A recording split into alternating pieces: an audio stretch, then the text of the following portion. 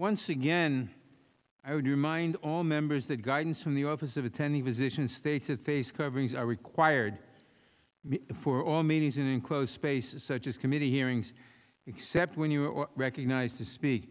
And that means you, Jim, and Marjorie, and Matt, and a lot of other people I can't recognize because of distance, um, et cetera. So uh, please, everyone, uh, observe that rule.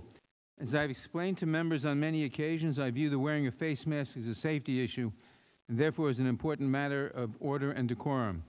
Because I am responsible for preserving order and decorum in this committee, I am requiring members and staff attending this hearing to wear face masks. I came to this decision after the Office of the Attending Physician released its guidance requiring masks in committee hearings some time ago. I note that some members are still not wearing masks. The requirement is that members wear their masks at all times when they are not speaking. I will, I will take members in compliance with this rule into consideration when they seek recognition. I see Mr. Roy, for example.